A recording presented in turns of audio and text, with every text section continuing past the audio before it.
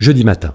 Les moteurs de recherche, il n'y a pas à dire, c'est tout de même pratique. Cela dit, on n'est jamais certain de trouver ce que l'on cherche. Pendant longtemps, Fred s'est contenté de taper les mots les uns après les autres sans vraiment se soucier de savoir si la machine comprenait ce qu'il lui disait. Safari, Wiki. Papa a besoin d'un livre. Papa a besoin d'un livre qui parle de Calvin, de prédestination. Attention, va chercher. Mardi dernier, le bibliothécaire a tenté de lui expliquer le fonctionnement des machines. Il lui a dit Les machines, et plus particulièrement les moteurs de recherche, ont leur propre langage. Et si vous voulez que ces petites bêtes-là vous obéissent au doigt à l'œil, eh ben, il va falloir parler leur langue. Et leur langue, c'est le booléen. Autrement dit, la langue de boule, pas ça vient toujours par deux. Euh, non, parce que c'est l'algèbre binaire. Non, en fait, c'est que ça vient d'un mathématicien anglais, Georges Boole. Voilà. C'est plus clair là maintenant. Compris. Comme notre bibliothécaire le suggère, c'est bien Georges Boole qui est à l'origine du langage booléen.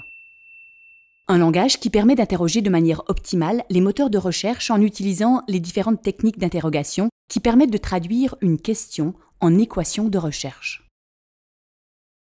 Au lieu de simplement entrer les mots les uns après les autres, Fred aurait dû ajouter des opérateurs tels que and, or, not, et des fonctionnalités comme la troncature, ce qui signifie qu'on va utiliser la racine d'un mot pour étendre sa recherche.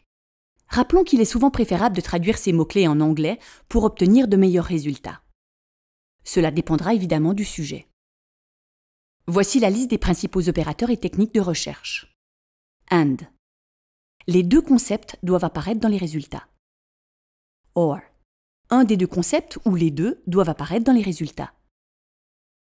Note indique que le terme qui suit ne figure pas dans les résultats.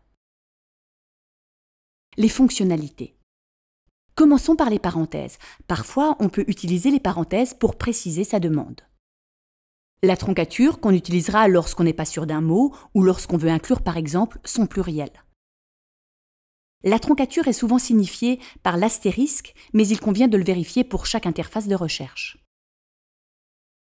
On utilisera encore les limitations, filtres ou facettes qui permettent de réduire le nombre de résultats selon divers critères en fonction des outils utilisés. Date, langue, type de document. Enfin, pour obtenir des résultats contenant des expressions exactes, on utilisera les guillemets. Attention, tous les outils de recherche ne fonctionnent pas de la même manière. Lisez l'aide de chaque outil pour connaître ses spécificités. Vous pouvez également recourir à l'interface de recherche avancée qui vous proposera d'utiliser le langage booléen sous une forme intuitive.